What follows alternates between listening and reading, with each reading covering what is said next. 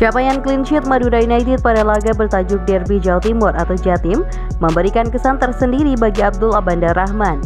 Sebab saat Madura United mengalahkan Arema FC 02 di Stadion Sultan Agung Bantul, daerah istimewa Yogyakarta pada hari Selasa 20 Desember 2022, dia sedang menjalani debut.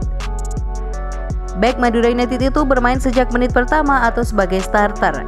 Dia mengisi posisi Cleberson Martins yang absen lantaran harus jalani hukuman akumulasi kartu kuning usai diganjar empat kali.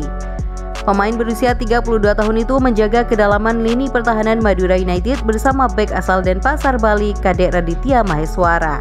Keduanya bisa mempersembahkan Nirbobol pada laga tersebut. Abanda tidak bermain sepanjang laga, dia ditarik keluar pada menit ke-79 Kala itu, pelatih Madura United Fabio Lefundes melakukan penyegaran di lini pertahanan dengan memasukkan Guntur Aryadi. Ini kesempatan berharga bagi saya. Saya senang sekali bisa bantu Madura United mendapatkan tiga poin. Apalagi laga tadi itu laga sulit.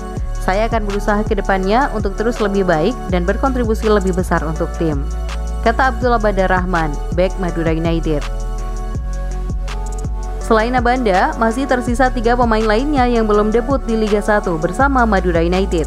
Uniknya, ketiga pemain itu sama-sama berposisi sebagai penjaga gawang. Ialah Fahrul Razi Kuba, Fawaid Ansori, dan Karisma. Septian Dwi Chandra, Syahid Mujtahidi, KMOV Sport melaporkan.